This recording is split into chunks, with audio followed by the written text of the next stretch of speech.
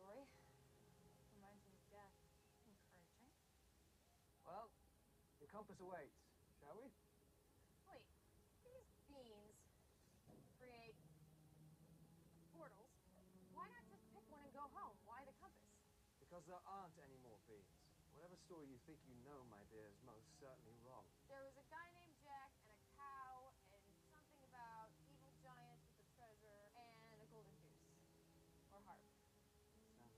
like tale.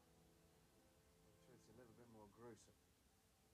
The giants grew the beans, but rather than use them for good, they used them to plunder all the lands. Jack then fought a terrible war, defeating all but one of the evil giants. The beans were destroyed by the giants as they died.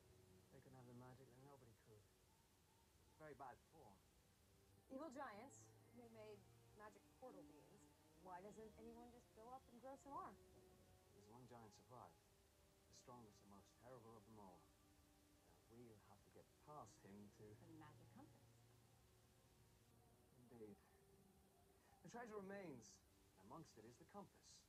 Now, it will guide us to your land. Cora has the means to open a portal with the wardrobe ashes, but she can't find your land without the compass. Once we get it, steal the ashes from her, then run away. How do we know you're not just using us to get the compass? Because a far safer company. All I need is a ride back. I swear allegiance to whomever gets me there first. Then we better start climbing. Right, so... I failed to mention that the giant enchanted the beanstalk to repel intruders. All right, so how do we get up there? Well, I've got a counterspell from Cora. You'd be so kind.